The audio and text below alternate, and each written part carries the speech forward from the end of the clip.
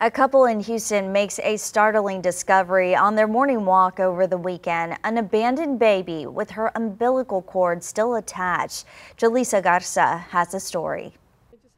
Saturday morning, Daniela Fideli decided to take a walk with her family before it got too hot outside, something they do often. Went down, you know, the street, Casa Martin, over the little bridge into, and then we turned uh, left going towards greenhouse. On their way back home, they noticed a towel on the ground, their three-year-old daughter riding her bike towards it. They quickly realized what was there. I noticed two little feet moving and then my husband was right behind me with the dogs and I yelled to my husband, I'm like, oh my God, a baby, a baby. And then my husband like, call 911, call 911. And that's what we did. Surveillance video from a neighbor shows the moment Daniela and her husband spotted the newborn baby, rushing to help. Once my husband went ahead and picked up the baby, uh, he found the nearest like tree right there at that house down the street.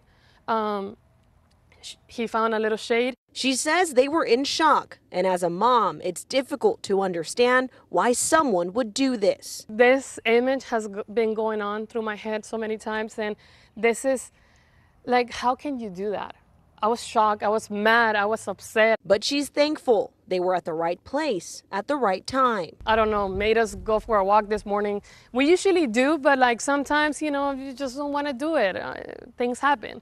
But this morning we're like, no, let's go ahead and, you know, get out. And wants to share this message. There is options. I mean, you can drop it off at a fire station, a police station, a hospital. I don't know, like do some, but don't leave the baby